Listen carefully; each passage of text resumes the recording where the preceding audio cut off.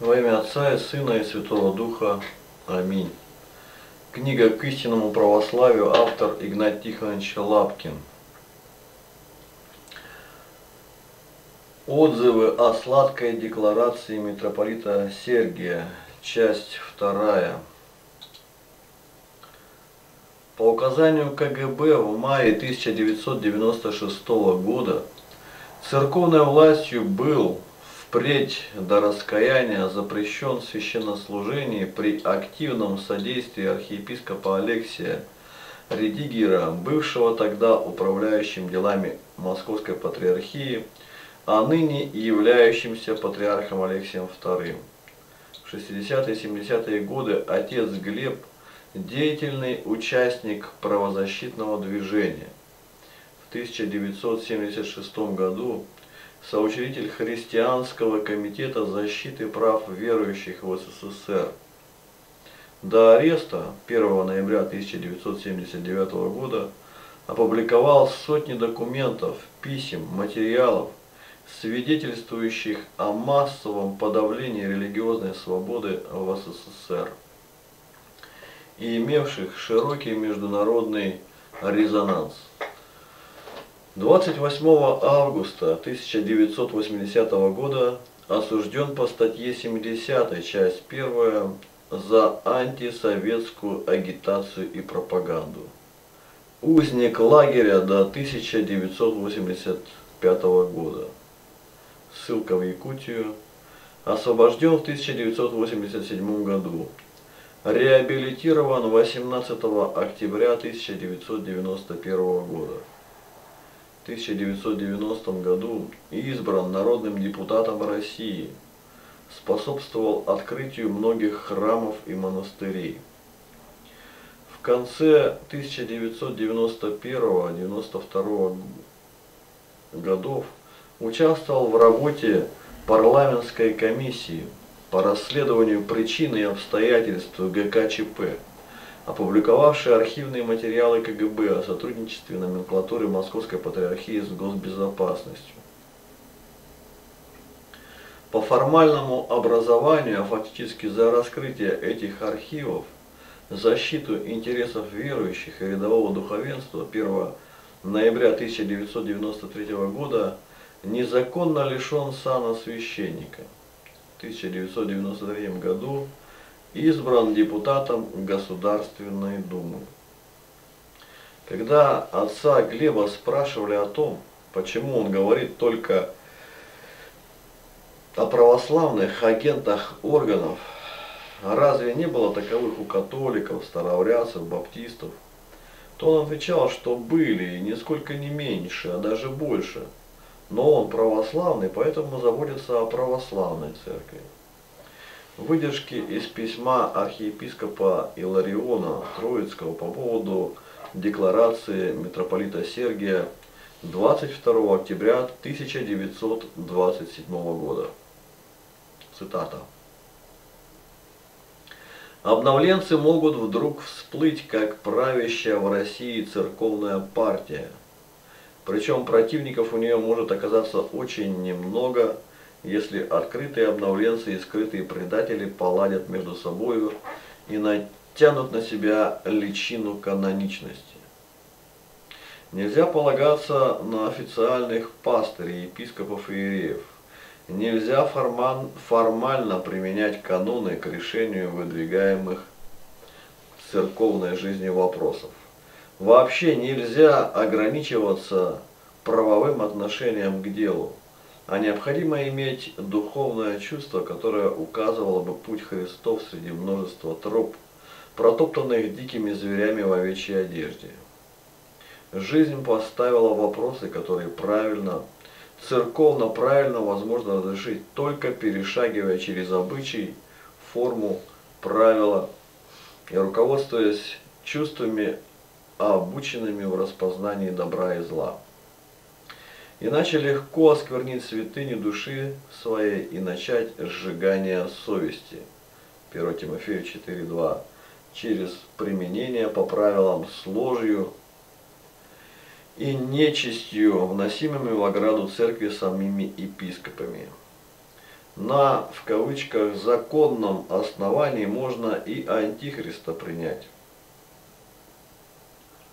Вызвавшие многообразные, вполне заслуженные отрицательные критики, послание митрополита Сергия и его синода не бросило ли возглавляемую им церковную организацию в омерзительные прелюбодейные объятия атеистической, богохульной и христоборной антихристовой власти, и не внесло ли страшное нечестие в недра нашей церкви? Имя митрополита Сергия произносится всеми как имя действительно кормчего русской церкви.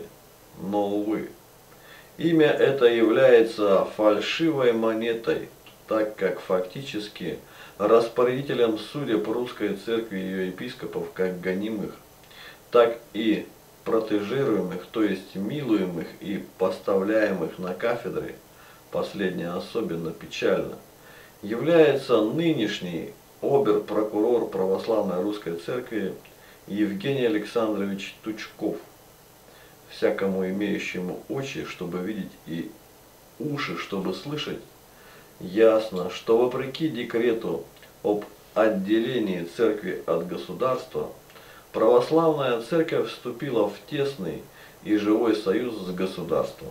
И с каким государством?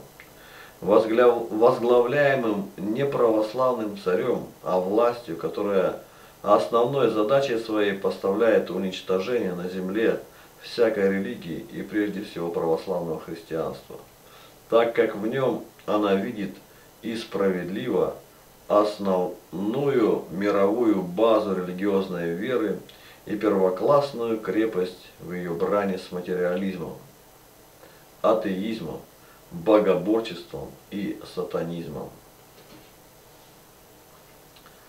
Книга Откровений, 17 глава, с 3 по 6 стихи.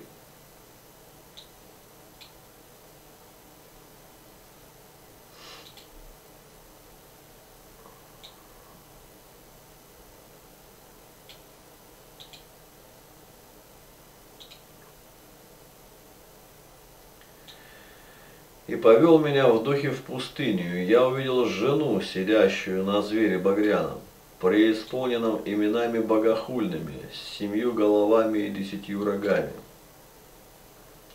И жена облечена была в парфиру и багряницу, украшена золотом, драгоценными камнями и жемчугом, и держала золотую чашу в руке своей, наполненную мерзостями и нечистотой блудодейства ее.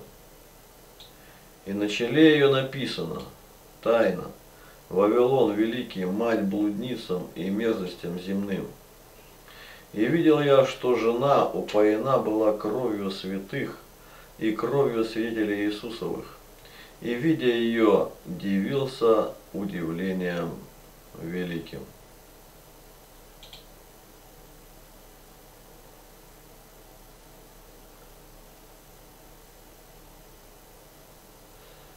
12 глава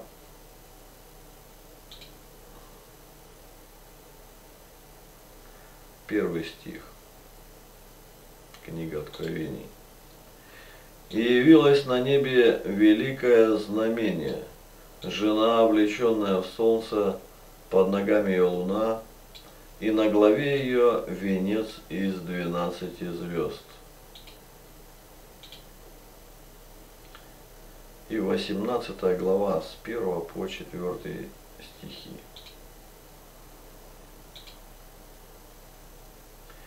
После сего я увидел иного ангела, сходящего с неба и имеющего власть великую. Земля осветилась от славы его. И воскликнул он сильно громким голосом, говоря, «Пал, Пал Вавилон, великая блудница, сделался жителем бесов и пристанищем всякому нечистому духу, пристанищем всякой нечистой и отвратительной птицы, ибо яростным вином блудодеяния своего она напоила все народы. И цари земные любодействовали с нею, и купцы земные разбогатели от великой роскоши ее. И услышал я иной голос небоговорящий, Выйди от нее, народ мой, чтобы не участвовать вам в грехе ее, и не подвергнулся язвам ее.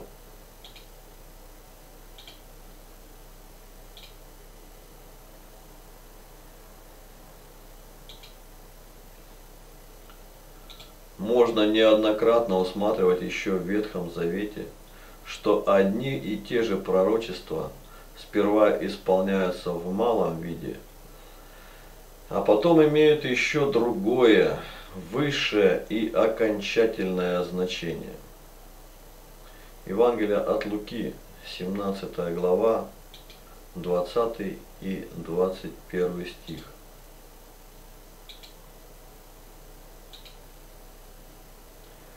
бывший спрошен фарисеями, когда придет Царствие Божие, отвечал им, не придет Царствие Божие приметным образом, и не скажут, вот оно здесь или вот там, ибо вот Царство Божие внутрь вас есть. И 21 глава Евангелия от Луки, 20 стих.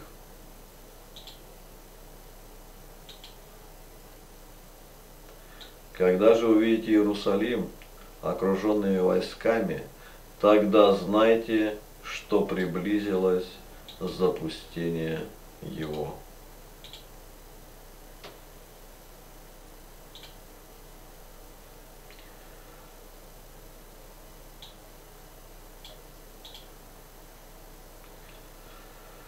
Стяжавшие внутри себя Царствие Божие – имеют руководителем Святого Духа, который наставляет всякой истине руководимого человека, не допускает его быть обманутым ложью, облекающейся для удобнейшего обмана в признаки истины.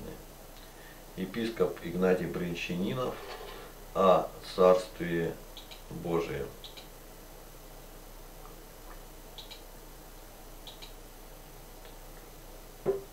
Цитата.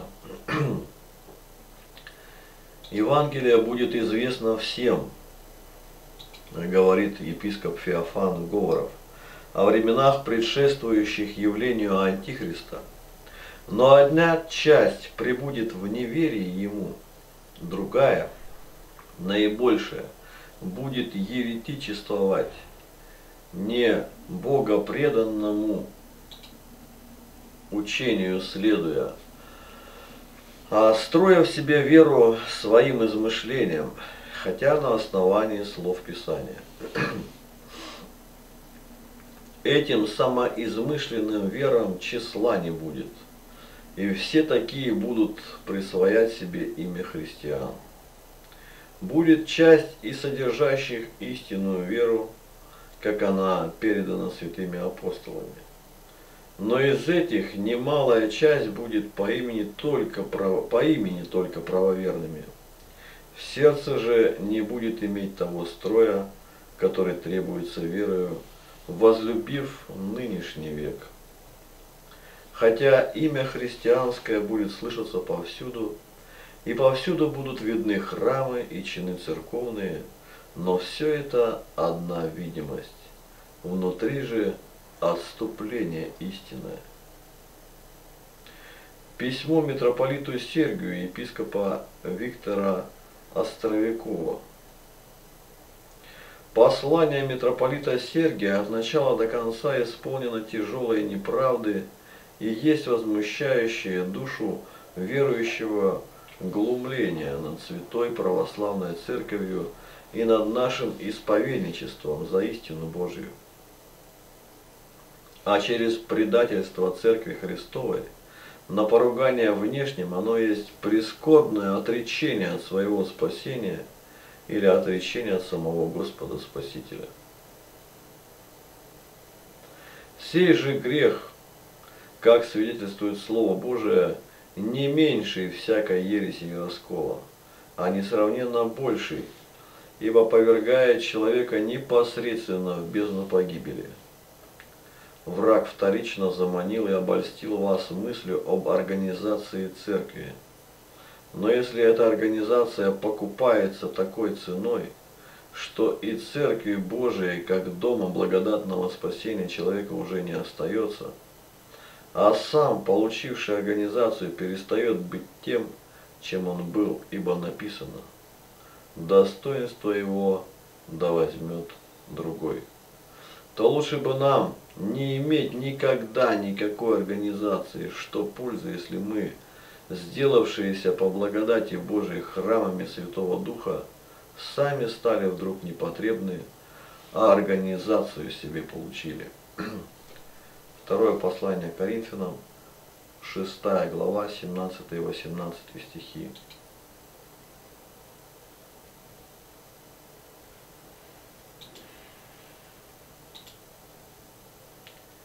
И потому выйдите из среды их и отделитесь, говорит Господь, и не прикасайтесь к нечистому, и я приму вас, и буду вам отцом, и вы будете моими сынами и черями, говорит Господь Вседержитель.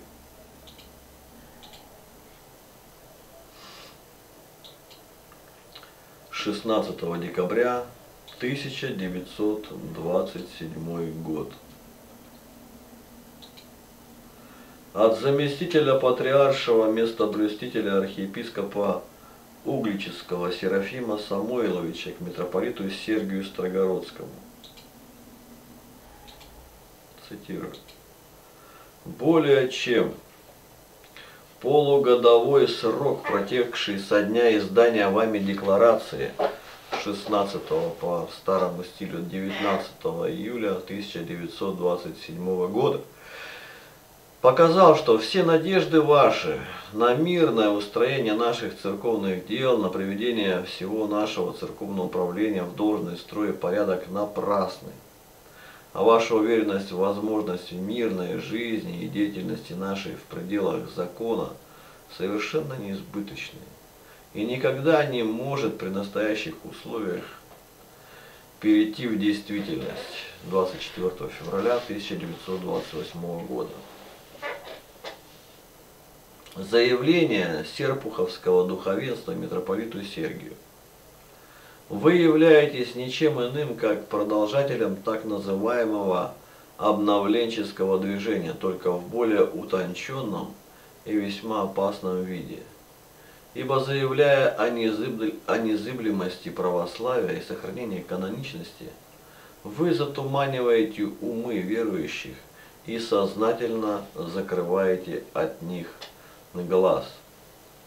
И закрываете от них глаз ту пропасть, к которой неудержимо влекут церкви все ваши распоряжения.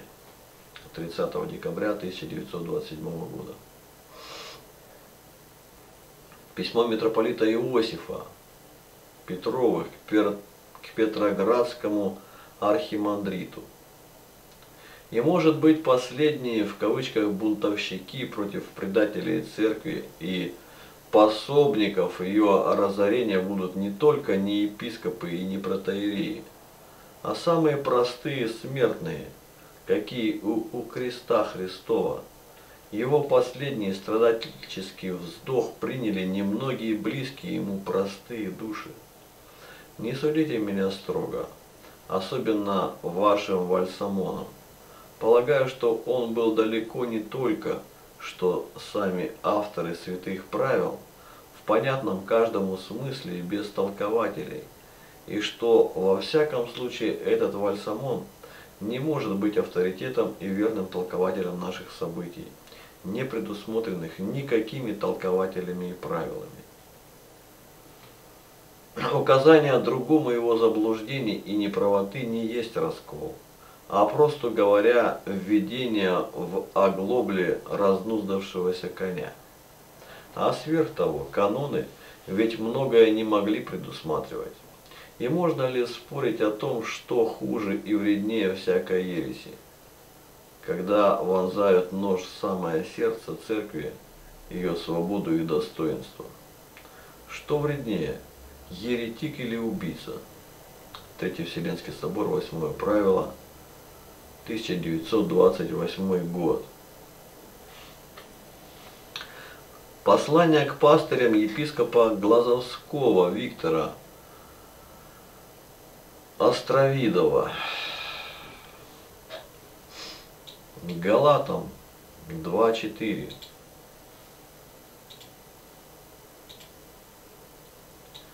А вкравшимся лжебратьям, скрытно приходившим подсмотреть за нашу свободою, которую мы имеем во Христе Иисусе, чтобы поработить нас. 1 Коринфянам 2.16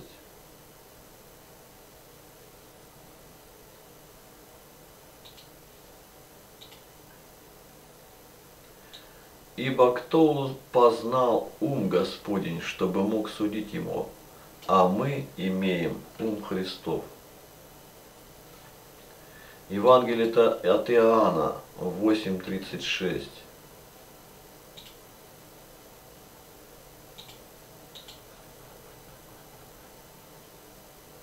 Итак, если Сын освободит вас, то истинно свободны будете.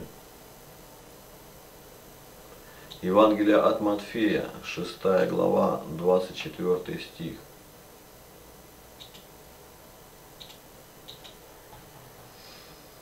Никто не может служить двум господам, ибо или одного будет ненавидеть, а другого любить, или одному станет усердствовать, а о другом не родить. Не можете служить Богу и мамоне.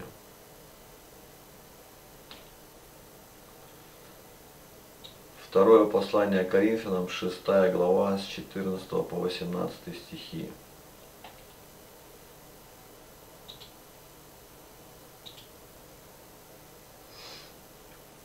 Не преклоняйтесь под чужое ермо с неверными, ибо какое общение праведности с беззаконием, что общего у света с тьмою, какое согласие между Христом и Велиаром, или какое соучастие верного с неверными? Какая совместимость храма Божия с идолами? Ибо вы храм Бога Живаго, как сказал Господь, вселюсь в них и буду ходить в них, и буду их Богом, и они будут моим народом. И потому выйдите из среды их, и отделитесь, говорит Господь, и не прикасайтесь к нечистому, и я приму вас, и буду вам отцом, и вы будете моими сынами и черями, говорит Господь Вседержитель. Первое послание Иоанна 5.19.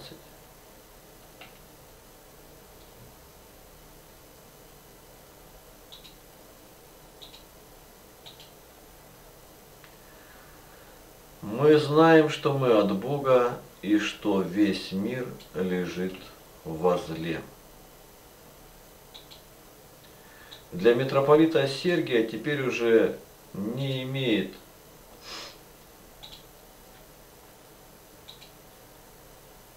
ну, простите, для митрополита Сергия теперь уже не может быть и самого подвига исповедничества церкви.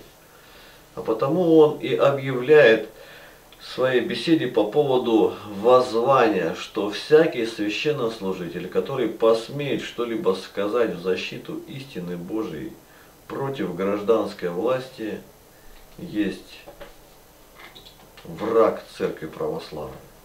Что это разве не безумие, охватившее прелещенного? Ведь так рассуждая, мы должны будем считать врагом Божьим, например, святителя Филиппа, обличившего некогда Иоанна Грозного, и за это удушенного. Более того, мы должны причислить к врагам Божьим самого великого предтечу, обличавшего Ироду, Ирода, и за это усеченного мечом. Церковная административная власть, даже в лице соборов, не всегда и раньше защищала истину, о чем свидетельствует история святителя Афанасия Великого, Иоанна Златоуста, Василия Великого, Феодора Студита и других. Послание к евреям, 12 глава, 2 стих.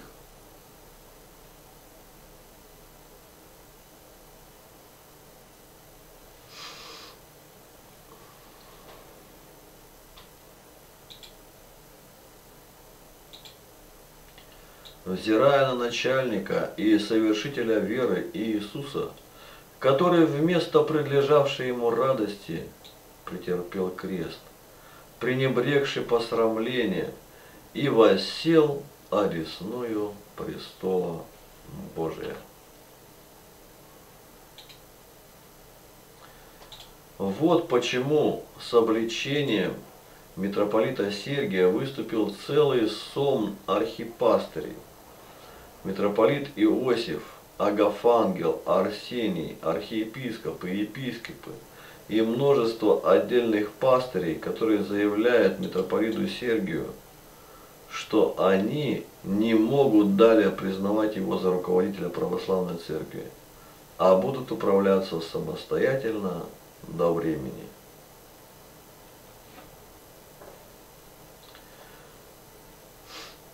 Послание Филимону 4.7.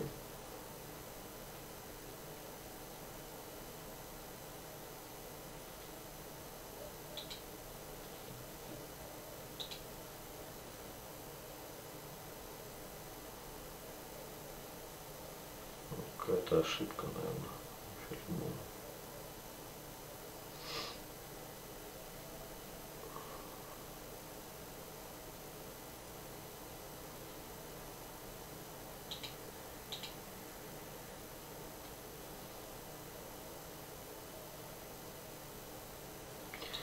1928 год.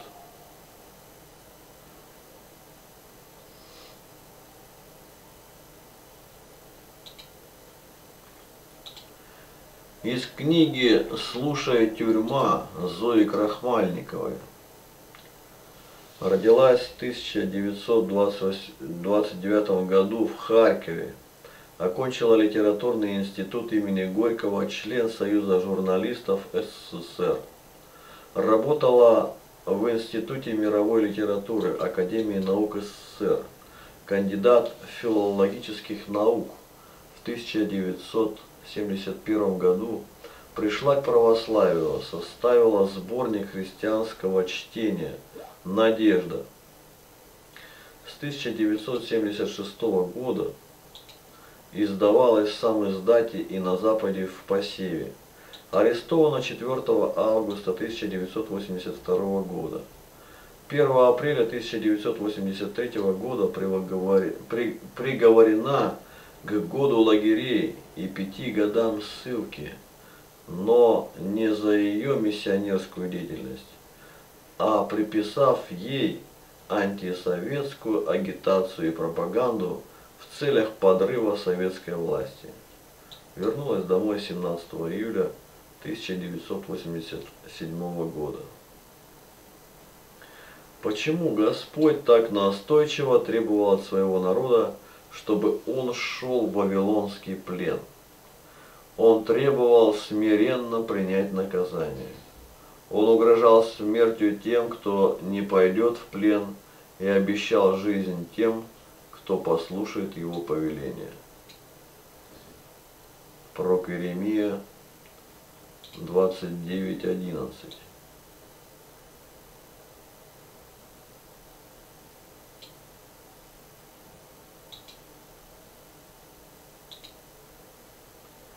Ибо только я знаю намерения, какие имею о вас, говорит Господь.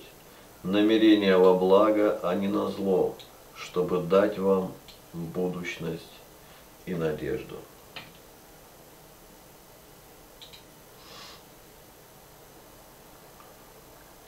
Евангелие от Луки 21.32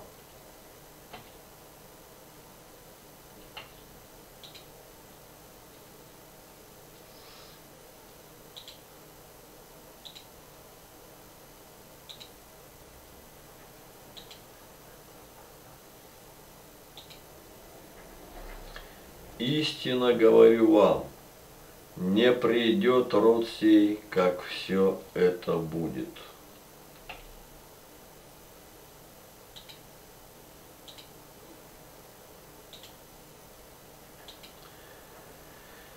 Евангелие от Матфея 24, 24.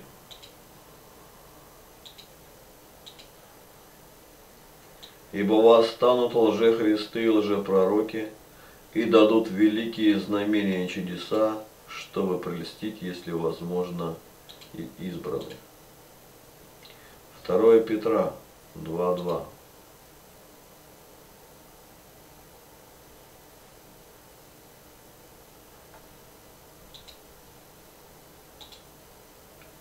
И многие последуют их разврату, и через них путь истины будет в поношении. Плоды же, плоды лжехристианства, так же как и псевдодуховности, скрыть невозможно. Сколь бы не рядились они в верность обрядам, аскетизм и во мнимое благочестие. Ибо дьявол, как известно, не брезгует ничем, ни постами, ни бдениями, ни долгими молитвословиями, ни доброделанием. Но цель этих действий обнаруживается в плодах, в стремлении уцелеть, в самозащите, в самоутверждении, в малодушии, во лжи. Грех, грех однообразен – и плоды псевдохристианства однообразны. Вместо любви к Богу и ближнему до креста – страх креста. Вместо отвержения себя, своего мира, утверждения себя в мире. Вместо милосердия – осмотрительность и равнодушие. Вместо пастырства – наемничество и трусость. Вместо сострадания к узникам – осуждение и презрение к ним. Посему сегодня, почему сегодня так очевидно безобразие лжехристианства? Пророк Иеремия 21.14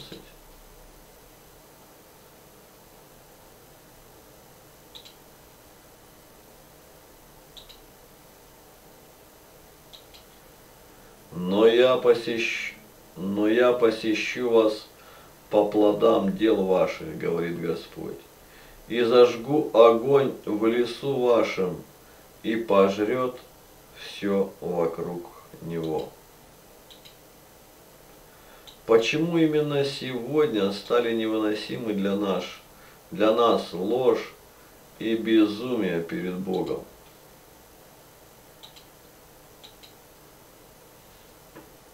Книга Бытие, 12 глава, 1 стих.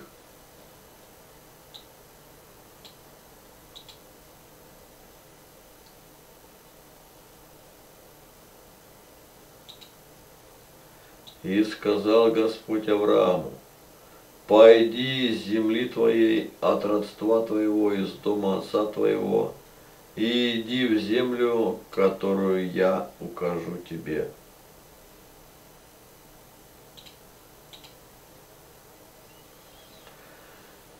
Неохристианство процветает сегодня именно потому, что оно не соль земли и не свет миру. Оно отказалось от любви и жертвы, заменив жертву собой, жертвой отдельными удобствами или преодолением отдельных недостатков, терпением их в себе и в ближних, терпением порочных навыков, страстей, и тому подобного.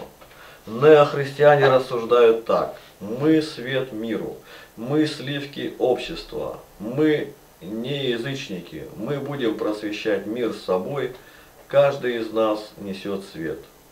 Мир болен, и мы будем исцелять мир своим присутствием в нем. Но для этого мир должен принять нас, признать нас за своих. Мы не хотим быть людьми второго сорта – иначе он нам не поверит. Он должен увидеть, что мы такие же, как и все, только лучше, чище, светлее, честнее. Тем более мы обладаем тайной спасения, мы будем жить вечно, а мир погибнет. Но если мир захочет, он может, несмотря на всю свою ненависть ко Христу, быть спасенным, если он станет таким же, как мы. Для этого мы и будем сотрудничать с ним, спасая его. Однако для этой миссии важно никого не раздражать, никуда не торопиться, ничего не провозглашать, ничем особо не отличаться, быть такими же, как все, чтобы не прослыть экстремистами. Сидите тихо и молитесь, как моя бабушка, убеждал следователь.